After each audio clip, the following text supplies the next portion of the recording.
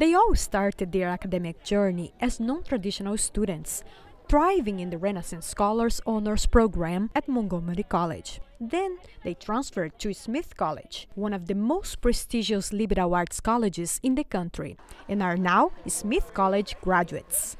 Susan Wu is the first person in her family to graduate from college.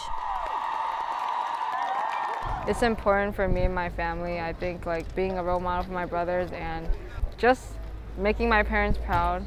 Jana Burke, a former Montgomery College Board of Trustees scholar, is graduating in December, summa cum laude. She talks about how Montgomery College helped her to transition to another college environment.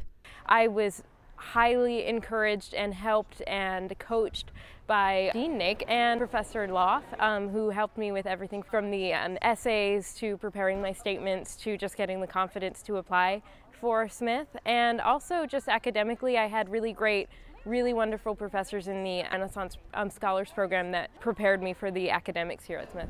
When it comes time for a student to choose to enroll in a honors course or in a honors program, graduate Galya Metanova has some sage advice. The honors program is much better than any regular class at uh, Montgomery College because professors are much more dedicated. Although it's, um, of course, a little bit more work for you to do outside of the classes, it's worth it at the end because classes are paid for um, or there's a scholarship to help you with that. Um, you become like a little family and you should not be scared of the coursework. And what does graduate Linet Ogoti miss most about MC? I miss the students. Yeah, the diversity.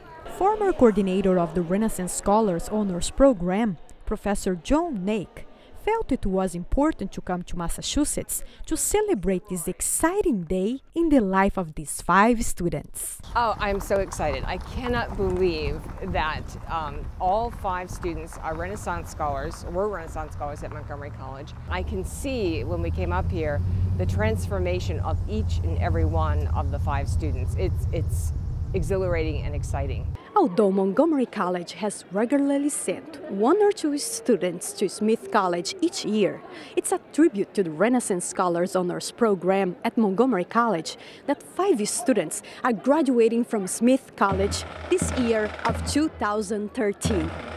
From Country Report this week in Northampton, Massachusetts, I'm Danielle Wistesky.